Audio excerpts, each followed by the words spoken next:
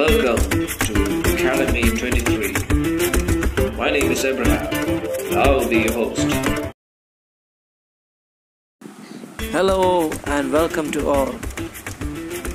Immediately when Jammu and Kashmir comes to our mind, a lot of factors will arise.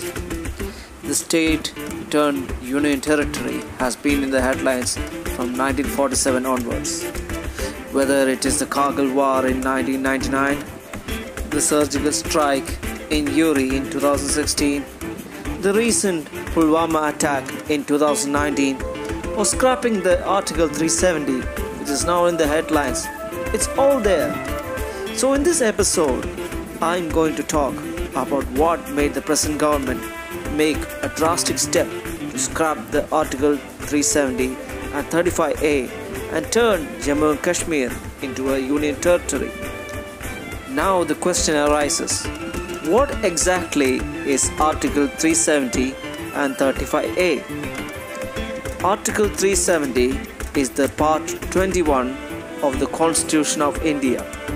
It deals with temporary, transitional, and special provisions.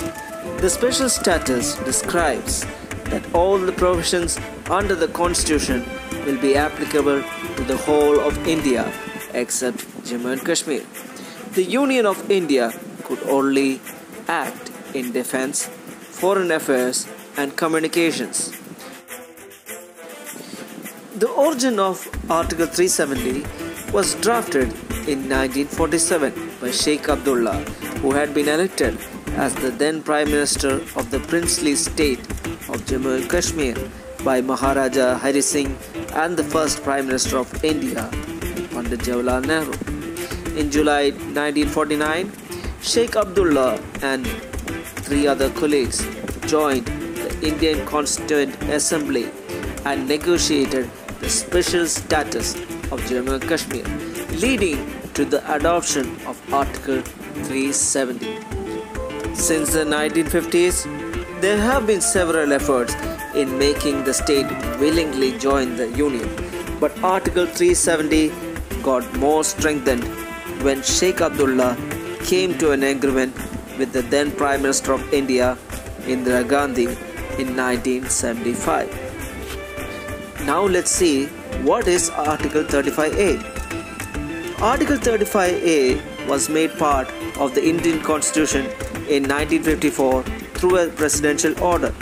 It allows the Jammu and Kashmir legislature to define permanent residents of the state and provide special rights and privileges to those permanent residents. So we looked at the origins.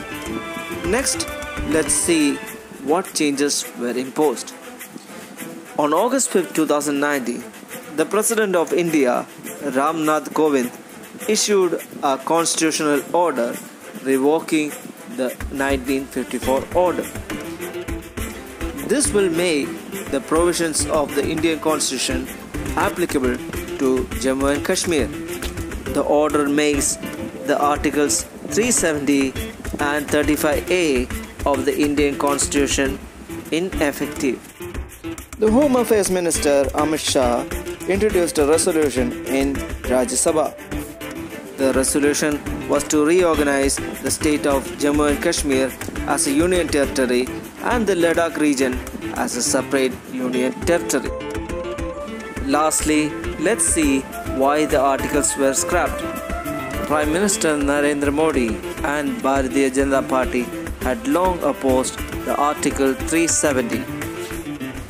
They argued that the articles had to be scrapped to integrate Kashmir and put it on the same foot as the rest of India. The government also claimed that it is affecting the development of Jammu and Kashmir.